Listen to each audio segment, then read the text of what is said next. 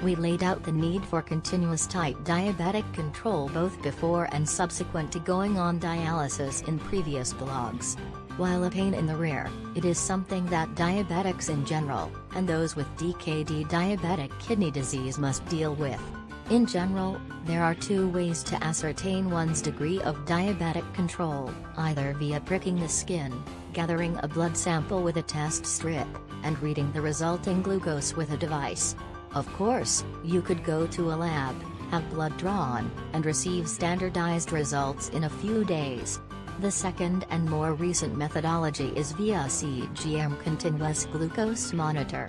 Yesterday I blogged about a third emerging methodology embedded in watches. I am currently using the Libre 3 Freestyle by Abbott and a watch. It is a follow-on to their Libre 2 system which I also used for three months and is a vast improvement in many ways. BDW, Libre comes from the Latin word liber, via the French and Spanish libre it shares that route with liberty.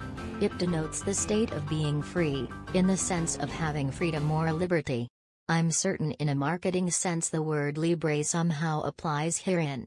The Libre 3 system is more accurate, does not require an external reader, has an improved app, provides more or less continuous readings, and also provides a form of A1C readings named GMI Glucose Management Indicator in mmol as compared to its predecessor. It is night and day superior to finger pricks.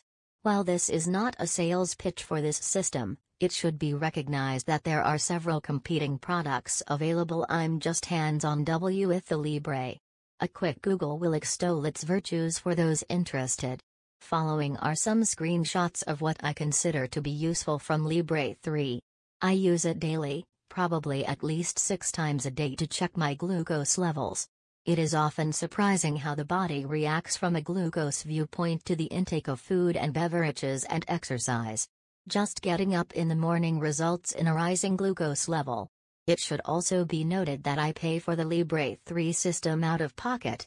Since I take insulin only once a day, currently 8 units of Lantus, I am not eligible for any insurance support be it Medicare, TRICARE for Life, or Virginia it is costing me roughly 210 month for two sensors which last 14 days per sender. To me it is more than worth the cost.